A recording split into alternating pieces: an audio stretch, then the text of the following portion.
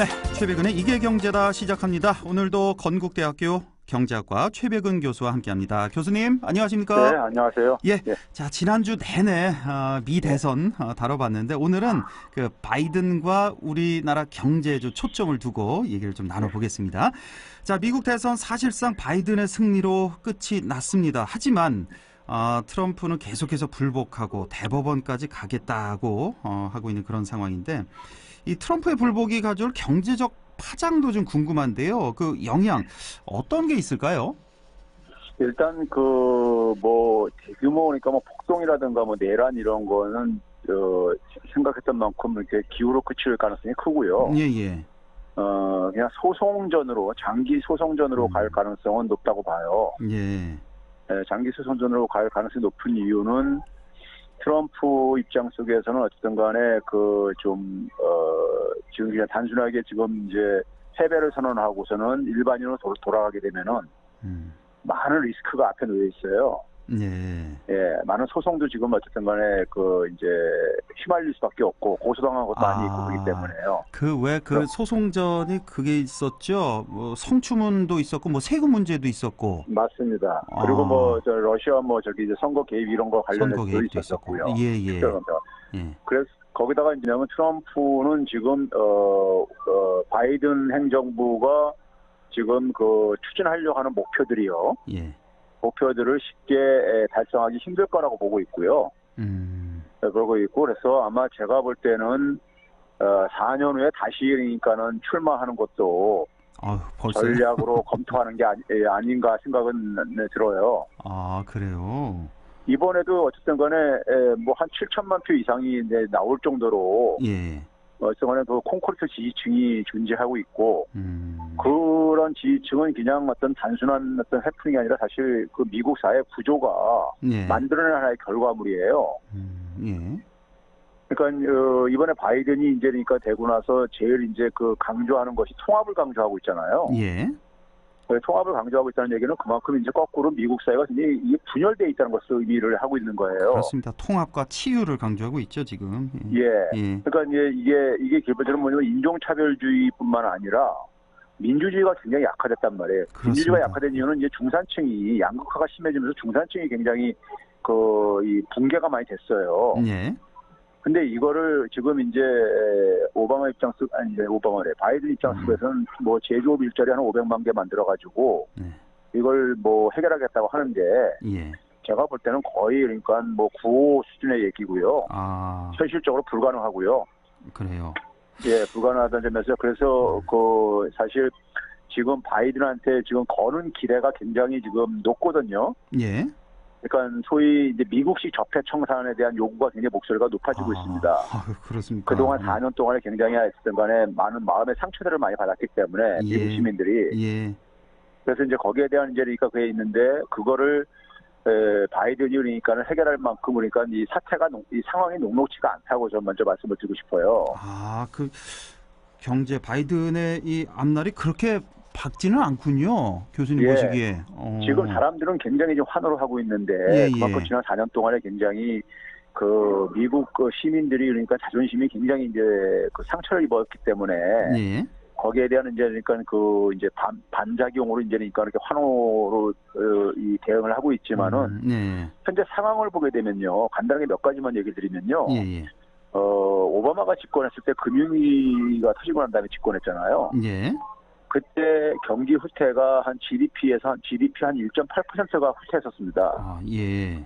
근데 지금은 3분기까지 기준으로 아직 4분기가 안 끝났기 때문에요. 예. 예. 3.5%가 후퇴한 상황입니다. 지난해에 아, 대비해서요. 예, 3분기에 좀 어, 힘을 좀 내긴 냈지만 그래도 마이너스 3.5%. 그러니까 2009년보다 더 안 좋다는 얘기고요. 예. 반면에 이제 그 반면에 그 당시에 이제 그러니까 오바마 같은 경우는 쓸 수 있는 자원이 그래도 많이 있었어요. 아, 예. 예를 들어서 그러니까는 뭐 국가 채무 비율도 예. 당시에는 그러니까 어, GDP 대비 한 60% 됐었기 때문에 아, 예. 그걸 한 105%까지 끌어올려도 그러니까 별 문제가 없었었거든요. 예, 예. 근데 지금 이미 국가 채무 비율이 3분기 기준으로 127%예요. 엄청나네요. 예. 이 127%라는 수치가요. 예. 일반 사람들이 잘 못 느껴서 그러는데 예. 미국 전체 역사 속에서요. 예. 국가 채무 비율이 가장 높았던 때가 2차 세계대전 때입니다. 전쟁 수행하느라고요. 예, 예. 그때가 120%였었어요. 아이고, 예. 그걸 초과한 거예요. 그렇군요. 그러니까 재정을 그 운영할 여력이 별로 없다는 거고요. 예. 거기다 뭐 이제 연준이 연준이 돈을 또 엄청 찍어냈거든요. 그렇죠. 예. 그러니까 이미. 금융위기 이후에 6년간 찍어낸 규모를 예. 어, 이번에 코로나 사태로 한 100일 만에 다 찍어냈어요. 3차에 걸쳐서 찍어냈었죠, 미국이 지금까지. 그렇죠? 그 이제 상, 3차 양적완화라고 하지만 찍어낸 돈 규모가 한 3조 한 5천억 달러 됐었는데요. 그 당시에요. 예, 예. 근데 이제 이번에 한 100일 만에 한 3조 100억 달러 찍어냈어요. 그러니까요. 예. 그러니까 더 이상 찍어낼 여력도 없어요. 근데 지금 미국인들도 그렇고 전 세계적으로 이제 바이든이 예. 되면 추가 부양책, 엄청난 규모의 추가 예. 부양책을 좀 기대하고 있었는데 예. 근데 예. 이것도 좀 녹록지 않을 것 같아요. 그 상원은 또 공화당이 장악을 했잖아요. 그러니까요. 그래서 어. 이게 지금 그 미국 이제 공화당은 기본적으로 이제 국가 재정에 대해서 굉장히 그 어, 저기 저 어, 좀 아끼려고 하는 긴축적인 예. 입장을 이런 입장이거든요. 예, 예. 근데 이번에 이제 그러니까는 그 트럼프 이제 바이든에 그러니까는 그이 국내 정책을 보게 되면요. 네. 사실 그이 문재인 정부의 저기 저 문재인 문재인오믹스와 비슷해요. 아, 그- 그러게요. 예. 그뭐 우리나라 왜 임금 주도 성장, 그린 뉴딜 예. 뭐 이런 거 다 갖다 쓴 것 같던데 보니까. 아, 그래, 근데 그게 이제 어쨌든 세계적인 어쨌든 간에 일종 추세인 건 같습니다. 아, 그래요. 예. 예. 그래서 예를 들- 그래서 이제 뭐 증세도 하고 예, 예. 근데 증세도 사실은 근데 오바마 오바마 수준으로 다 복귀를 못했어요. 아, 그렇습니까? 목표한 것도요. 예. 그러니까 들어서 법인세 같은 경우 오바마 때 클린턴 때부터 오바마 때까지 35%였거든요. 최고 세율이요. 예, 예. 근데 이, 이걸 트럼프가 21%까지 급격하게 감, 저기 떨어뜨렸다고요. 예. 그리고 나서 이제 민주당 싱크탱크에서 이제 그러니까 거기도 마찬가지로 낙수 효과가 없었다는 이런 이제 논란이 나오고 있었거든요. 예, 예. 근데 이걸 한 28%까지 끌어올리겠다는 거예요. 아, 반밖에 못 올리는군요. 그렇죠. 아, 그러니까는 그만큼 그러면 예를 들어서 오바마 때도 예, 예. 오바마 때 그러니까는 그이 미국이 2000년부터 그 금융위기 때까지요. 네. 제조업의 일자리가 680만 개가 없어졌습니다. 미국도 엄청나군요. 제조업 예. 일자리. 그런데 없어져도. 오바마가 8년 동안 집권하면서요. 예. 제조업 일자리를 복구한 게 90만 개 정도밖에 못했어요. 아이고, 예, 예. 그리고 트럼프가 4년 동안 한 50만 개 했고요. 예. 여전히 540만 개가 2000년 수준을 회복을 못하고 있어요. 음, 예. 이걸 지금 그러니까 그 이걸 인식해 인식해 가지고 바이든이 500만 개 제조업 만들겠다는데 예. 이거는 오바마 때 그러니까 그 상황 속에서 못 만든 90만 개뿐이 못 만든 걸 8년 동안에 사실상 불가능하군요. 예, 불가능한 제조. 겁니다. 예. 그러면 결국 뭐냐면은 소위 중산층 보호, 보건이 힘들다는 얘기고요. 예, 예. 중산층 보건이 힘들면 양극화는 계속해서 지속될 수밖에 없고 음. 그 속에서 결국은 뭐냐면 이 분열 소위 그다음에 민주주의에 또 하나의 위기 이런 상황은 지속될 수밖에 없다는 거고 예, 예. 이런 상황 속에서 그러니까는 그 트럼프는 이걸 정확히 이해를 하고 있는 것 같아요. 음. 그 이해를 하고 있기 때문에 예. 계속해서 이제 그러니까 이제 딴지를 걸 거고 예, 예. 트위터나 이런 걸 통해서 예. 그러면 이제 미국 국민들이 그러니까 성과가 안 나오게 되면은 이제 실망도 많이 하게 될 거고 아, 그래서 4년 사실- 후를 또 도모한다. 사실 바이든에 대해서도 바이든 지지하신 많은 미국 시민들이 트럼프가 싫어서 지지하는 꽤 많아요. 그렇겠죠, 당연히. 예. 반사이득이고요. 예, 예. 그냥 적극적인 지지층보다는요. 썩 바이든이 마음에 드는 건 아닌데 트럼프는 그러니까 더 싫어서. 예. 바이든이 되도록 별로 변화될 게 없을 것 같으니까 안- 지지를 안 하, 그 적극적 지지를 안 하는 겁니다. 그러니까요. 예. 예. 예. 그런 점에서 이게 지금 초창기에 굉장히 어떤 이 환호가 음. 환호가 크면 클수록 이제 실망도 굉장히 클 수가 있는데요. 예. 그런 점에서 더- 더군다나 지금 일자리 500만 개 만들겠다는 게 그린 뉴딜인데 예, 예. 이거 오바마 때서 했던 거예요. 우리나라도 지금 아, 하고 이미 있지만요. 이미 그때. 예. 근데 이거 가지고 500만 개 일자리 나오는 건 불가능해요. 그린 뉴딜 가지고요. 그러니까 산업 구조 자체가 미국이나 우리나 완전히 달라졌기 때문에 그렇죠 제조업에 그렇죠. 있어서 예. 알겠습니다. 근데 그날 이제 어, 지난주 3일이었죠. 어, 그 선거 있던 날 참 정말 이 증시가 우리나라 증시를 보는데 완전히 널뛰게 하더라고요. 그러니까 첫날 트럼프가 좀 우세할 때 뭐 환경주는 폭락하고 기술주 뭐 폭등하고 에너지주 폭등하고 뭐 이랬는데 다음 날 바이든이 우세하니까 또 이게 또 정반대 현상이 있고 그랬는데 그러니까 우리나라 증시, 미국 증시 지금 분위기는 어떻습니까? 앞으로 좀 올라갈 것 같나요? 오늘 이제 오늘 시장에 이제 그러니까 상황을 보면요. 예. 대충 이제 그러니까 그 모습이 보이는 건데요. 예. 지금 어쨌든 대규모 경기 부양을 물론 이제 그러니까는 지금 제일 제일 우선적인 과제는 이제 코로나 방역입니다. 예. 미국 지금 13만 명까지 지금 육박해가고 있잖아요. 어, 정말 무서울 정도예요.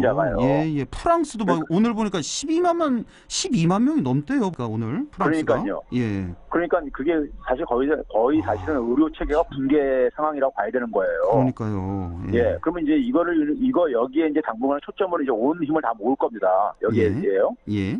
그래서 제가 도 이제 그러니까 뭐냐면 어 문재인 정부가 가장 잘한 것 중에 하나가 이 방역이니까 그렇습니다. 예. 방역에서 방역을 모멘텀으로 삼아가지고 좀 어쨌든 간에 이 연결을 좀 만들어봐라 이런 아, 얘기를 제가 이제 그 조언을 하고 있는데 예. 하고 있는데 에, 어쨌든 간에 이제 경기 부양을 하는 데 속에서 대규모 이제 재정 재정을 투입하겠다는 거 아닙니까요 지금요 예. 예. 예 투입하게 되면은 돈이 많이 풀린다는 얘기고요 그렇습니다.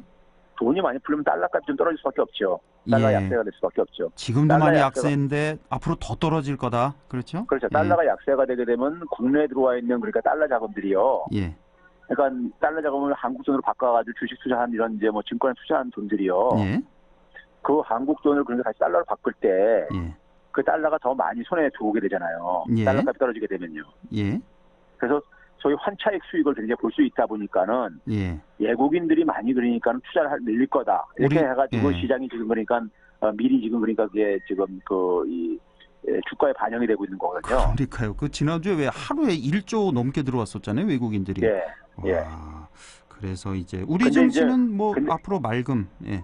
어느 근데 정도. 문제는 뭐냐면 이것도 지속 가능성이 불투명한 게요. 예. 달러 약세가 되게 되면 월가가 싫어해요. 예. 월가에는 자본이 빠져나가기 때문에 월가에서는요. 예. 그래서 그거를 미국 정부들이 전통적으로 보게 되면은 90년대부터 강달러와 약달러에서 왔다 갔다 왔다 갔다 막 그랬었어요. 예. 약달러를 하게 되면 미국 제조업이 좀 수출에 도움이 되는 반면에 그렇죠. 예. 에, 이제 월가가 이제 그러니까 타격을 보게 되고요. 예. 강달러가 되면 월가는 좋아하고 그렇죠. 돈이 그러니까 몰리니까. 결국은 뭐냐면 월가 월가로부터 어, 이 바이든도 그러니까 사실 자유롭지 못하거든요. 네. 그래서 얼마나 이 정책을 지속할 수 있는지도 사실 의문입니다. 예, 그렇군요. 자, 어쨌든 이 트럼프 시대 때는 뭐 미국 우선주의, America First로 대변되는 이 미, 미국 우선주의에 중국도 많이 당하고 전 세계가 참 예, 고난을 예. 많이 겪었는데 바이든 시대에는 뭐 그렇게까지 노골적으로 좀 안 하지 않을까요? 아, 근데 이제 그 바이든이 얘기하는 게 이제 그런 거거든요. 미국의 리더십과 권위가 많이 손상됐는데, 네, 예. 그거에 이제 손상된 이유가 이제 그러니까는 미국이 만든 질서나 규칙 이런 걸 스스로 이제 파괴하면서 음, 하다 보니까 이제 그러니까 그 동맹 국가들한테, 우방 국가들한테 굉장히 신뢰를 잃게 되고, 네, 예. 그래서 이제 에, 전통적인 그러니까 미국이 했던 방식인 저희 규칙이라든가 이런 그 가치에 의해 가지고 음. 그걸 복원시키겠다는 거거든요. 예. 근데 그것과 관계없이 중국에 대한 문제는요. 예. 공화당이나 민주당이나 차이가 하나도 없습니다. 아, 중국 찍어 누르기는 그대로일 것이다. 예. 예를 들면 중국을 지금 막지 않으면 어, 막, 막을 수 없을 뿐만 아니라 미국이 이, 위험에 빠진다는 이런 사고들을 갖고 있어요. 중국 GDP가 지금 한 미국의 한 70% 가까이 올라오지 않았나요, 지금? 그렇죠. 그 정도 그렇죠. 갔죠. 그 정도 올라갔죠. 이대로 가다가는 뭐 추월할 거기다가 테니까. 거기다가 이번에 이제니까는 바이든이 이제 그 육성하려고 하는 첨단 산업의 초점이 인공지능하고 어, 5G에다가 해놨거든요. 예, 예. 그게 제가 늘 얘기하듯이 4차 산업혁명의 핵심 기술이 인공지능하고 5G예요. 예. 근데 그거가 그것 때문에 사실 화웨이를 이렇게 막 저기 저 억눌렀던 거잖아요. 예, 예. 화웨이가 그쪽 분야에서 중국을 대표하는 기업, 기업이거든요. 그렇습니다. 예. 그러니까 지금 뭐냐면 어, 미국 입장 속에서는 자기들 기술도 개발시키겠지만은 음, 중국이 쫓아오는 걸 어쨌든 간에 최대한 이제 그 이 막아가지고 네. 좀그 격차를 계속 유지하는 것을 아, 이런 전략을 지금 알겠습니다. 추구하고 있기 예. 때문에 예. 당분간 중국에 대해서는 그러니까는 어, 트럼프나 별 차이가 없을 것이고요. 아, 미중 갈등은 그대로일 것이다. 그래서 America First는 기본적으로 저는 어, 지속될 수밖에 없다고 봐요. 예. 예, 트럼프 때는 뭐 1대1로 흔히 말해서 뭐 맞짱을 떴는데 이제 예. 바이든 시대가 되면은 또뭐 이 다자주의 아니겠습니까? 그래서 우리나라도 또 미국 밑으로 힘을 합쳐라 이렇게 또 요구할 거 노골적으로 요구할 것 같아서 조금 우리가 좀 아, 어떻게 대응해야 될지 더 고민이 깊어질 것 같습니다. 오늘 교수님 여기까지만 해야 되겠습니다. 아, 시간이 예. 다 되세요. 예, 고맙습니다. 네, 감사합니다. 예, 지금까지 건국대학교 경제학과 최백은 교수와 함께했습니다.